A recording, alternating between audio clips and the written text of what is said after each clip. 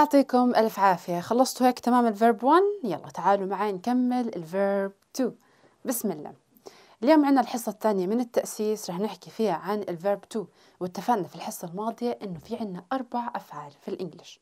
في خامس في خامس لا فيش خامس. verb 1 verb 2 verb 3 and verb ing خلصنا أول خطوة منها اللي هي verb 1 اتفقنا إنه بستخدمها للمضارع. بنضيف لها s es ies إذا كان الفاعل مفرد إذا جمع مش رح نطلع عليه رح يضل الفعل زي ما هو. okay نيجي هلا لموضوع ال verb 2 شوفوا لي هاي ال verb 2 محلاها. بحكي لك الفعل ال verb 2 الماضي. إحنا هون آه إحنا هون.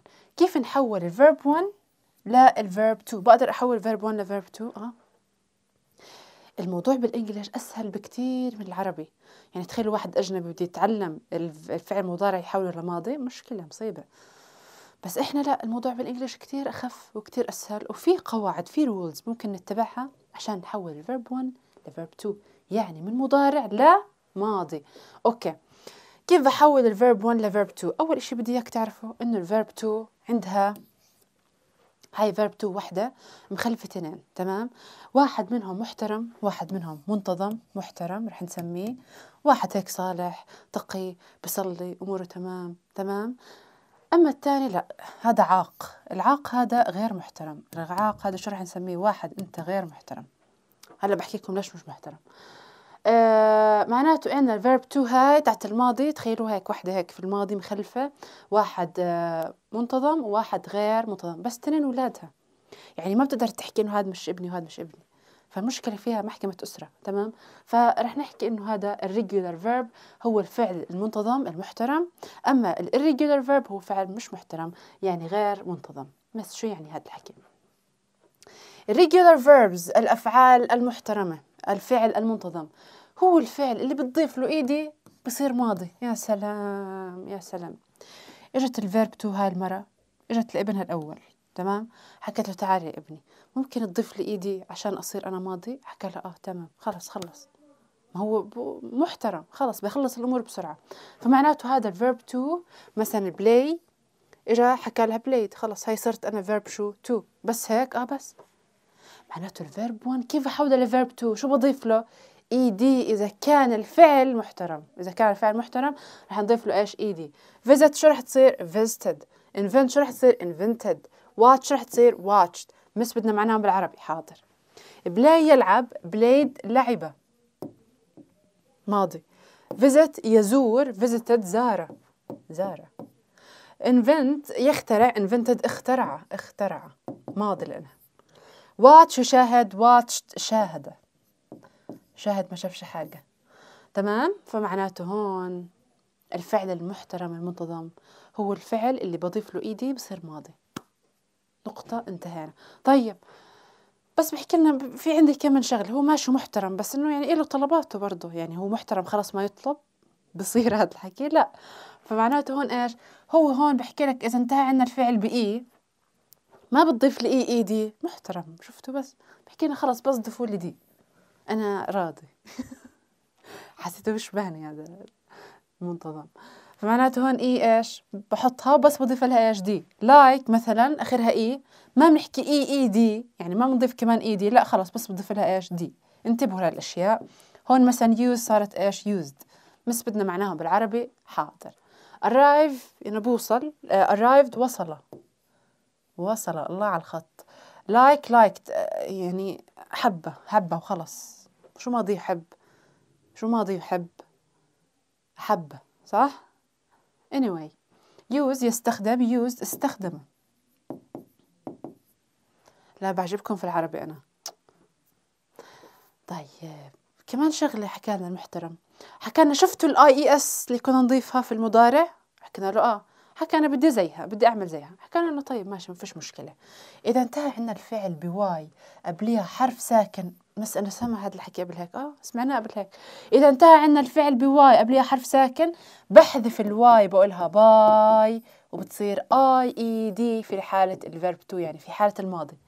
آه مس هذيك كانت في مضارع. هذيك هذيك كانت في مضارع. تمام؟ اللي هي ال verb 1 ال verb 1 i e s. الماضي شو بتصير؟ i e d. نفس الحكي. y قبليها هون حرف ساكن.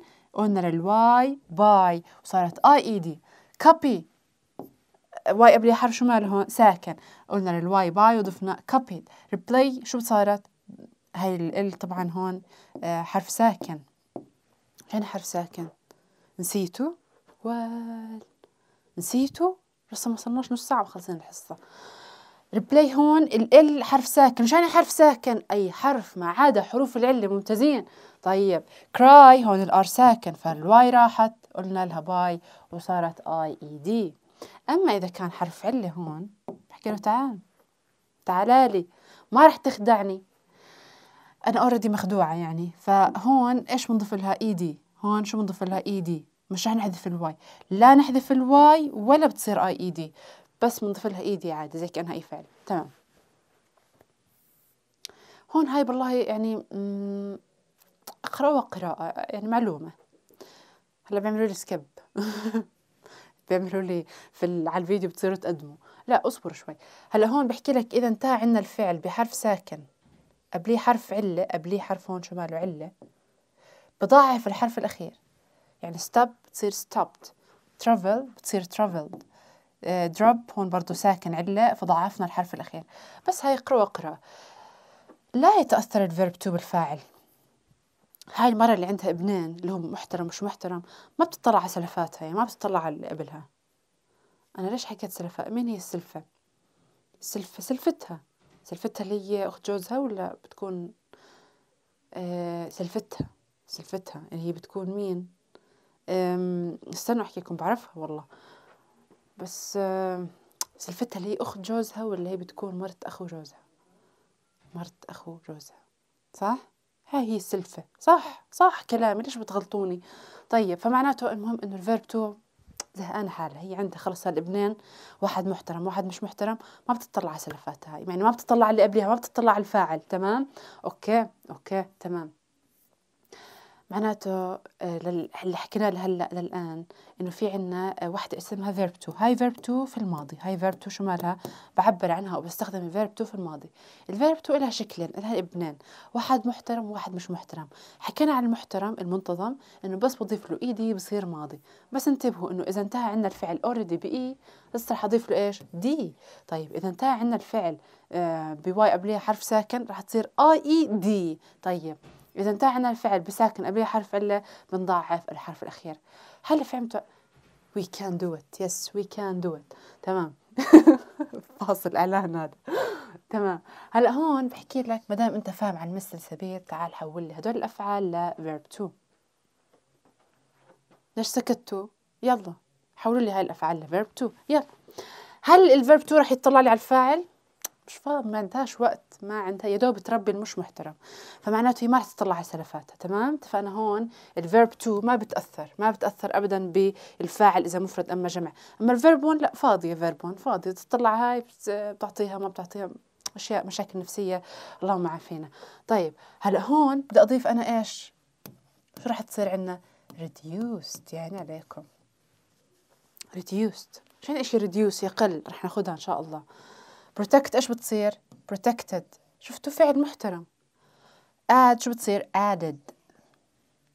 Study. رح تحكي لي مستني. استني وين رايحة؟ في عنا y قبلها حرف ساكن. بحكي لك ممتاز.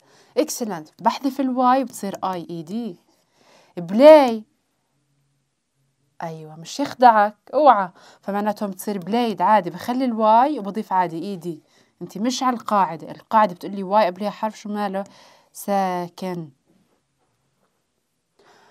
okay فريقي. يلا فداكم فداكم. we travel آه انتبه هون الطالب انه في عنا هون حرف ساكن قبلها حرف عله فبضاعف الحرف الأخير فبتصير travelled we travelled use آخرها e already يعني فبس بضيف لها إيش؟ d reply هون. أيوه يعني عليكم. بحذف ال y بتصير إيش؟ i e d cry أيوه رح أحذف ال y وتصير i e d arrive آخرها أصلا d آه، آخرها أصلا e فرح نضيف بس d. هذا كان الفعل شمال المحترم. نيجي مش محترم هذا الغير منتظم. شو بقول لك؟ الفعل الغير منتظم هو الفعل اللي ما بقبل ed عاق. هو عاق. فمعناته هو هذا ما بقبل إيش؟ ال ed. له شكل معين له تصريف وشكل معين. يعني مثلا eat هذا هذا فعل عاق. ليش؟ لأنه إذا حكيت لي eated, eat شو معناها؟ ياكل بزبط أحكي لك eated أي eated لا ما بزبط. إلها تصريف وشكل معين. eat بتصير وينها؟ هيها eat بتصير ate. يعني حبايبي هاي الأفعال لازم نحفظها حفظ. هلأ بفرجيكم كيف رح نحفظها بس خليكم معي. مثلا speak رح تحكي لي speaked هون يا حبيبي يا حبيبي إذا بتحكي لي هيك وأنت توجيهي. هون خطأ هذا speak فعل غير منتظم. write تحكي writed خطأ معناته أنا إلها تصريف. write wrote speak spoke رح نحفظهم إن شاء الله ما تخافوا. أه بعرف شو بتبادر لذهنك هلا سؤال. أنا بقرأ أفكاركم. رح تحكي لي مس مس مس أنا كيف بدي أعرف الفعل إذا كان محترم ولا مش محترم؟ أي إشي. طلعوا لي عالدوسية صفحة تسعة. يا يا يا تسعة تسعة. آه إحنا هنا وصلنا. أه بحكي لك أه صفحة عشرة سوري.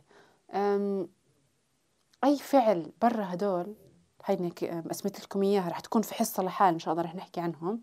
أي فعل برا هدول ال groups برا هدول المجموعات رح يكون فعل شمال محترم. أما المش محترمين حاطينهم في جهة لحال. المش محترمين حاطينهم في صفحات لحال. فاللي بدي أوصل لك إياه أي فعل ما بنحفظه بالتصاريف بيكون فعل شمال محترم شو يعني محترم؟ يعني بس بتضيف له ed بصير ماضي. okay. يجب على الطالب حفظ هاي الأفعال كتابة وأن يعرف معناهم حتى يكون مخزون معاني جيد. راح أحكي لكم من هذه التفاصيل بعدين. الحصة الجاية راح يكون كل موضوعنا عن الابن العاقل مش محترم. عشان أعطيكم العبرة من كلامي وتكونوا إن شاء الله استفدتوا من هذا الدرس تمام؟ آه، زي ما حكيت لكم الحصة قصيرة بس أنا بدي أمشي معكم هيك خطوة صغيرة خطوة صغيرة خطوة صغيرة عشان نكمل مادة التأسيس إن شاء الله. بشوفكم الحصة الجاية نحكي عن الابن العاق والسلام عليكم.